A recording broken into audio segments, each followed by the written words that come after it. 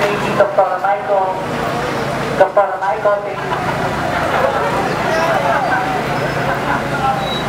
At least, kasama